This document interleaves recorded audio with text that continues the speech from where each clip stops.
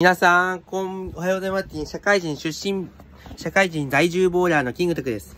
まあ、介護、まあ、介護の常識、ヘルパー以前のベーシック編といきたいと思います。やはり、スタート、お世話することだけが介護ではない、いろいろな視点、体の調子ですね、はい。病気などを解放する介護、時点で喋ったら分かったんです。はい。あとは頑張らないのが大切です。自分だけ、家族だけでは。いろいろ負担が軽くして、頑張らない介護をでも失礼ですね。いくらなんでも。寝たきりにしないというより何よりも必要でございます。骨折とか落ちたり、確かに生活に影響、直送とかもできてますね。認知症の介護で大切なのは原因探しよりもその人の理解によるんです。はい。理解が大切でございます。記憶、検討式、障害があるそうですし、判断力の低下ですね。はい。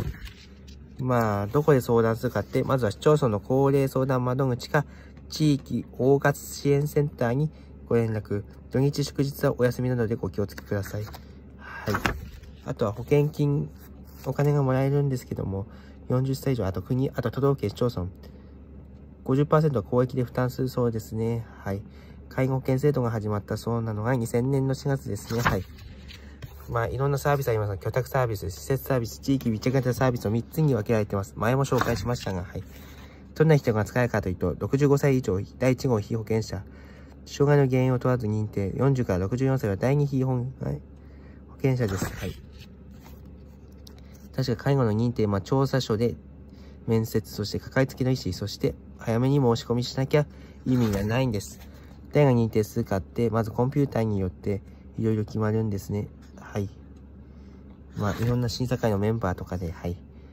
要支援1、2、要介護1、2、3、4、5の7段階に分けられているそうです。事実の判定を受ける場合は、介護保険は利用はできません。はい。あとは、アドトリ、ランドリーはちょっと難しいですね。はい。1割負担ですね、利用者。はい。9割は介護保険から出るそうですね。はい。というわけで、ヘルパー以前の介護の常識、ベーシック編パート1でした。バイバイ。